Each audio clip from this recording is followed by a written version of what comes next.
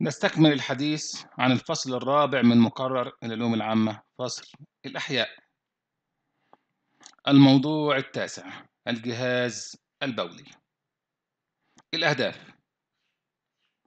يتعرف الطالب تركيب الجهاز البولي يستنتج وظيفة الجهاز البولي يستشعر عظمة الخالق سبحانه وتعالى في عمل الجهاز البولي. نشاط. مما يتركب الجهاز البولي. تركيب الجهاز البولي.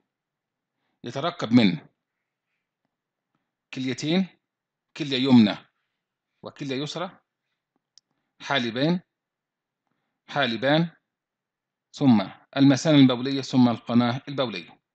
في الشكل اللي قدامنا كليتين حالبين مثانة ثم القناة البولية. نشاط. كيف يعمل الجهاز البولي؟ عمل الجهاز البولي.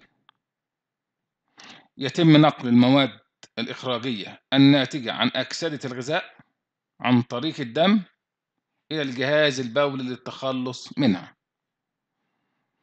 بعد كده يقوم الكبد بتكسير وهدم المواد السامة والعقاقير الزائدة عن حاجة الجسم.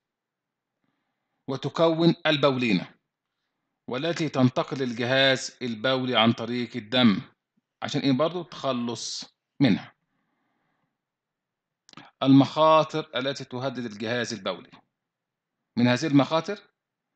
فشل الجسم في التخلص من البولينة كما في حالة الفشل الكلوي.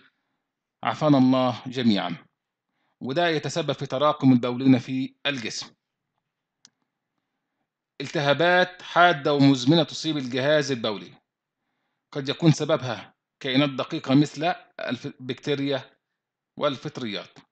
قد يكون سببها بعض الكائنات الدقيقة مثل البكتيريا والفطريات. اكتب تقرير عما تعلمته.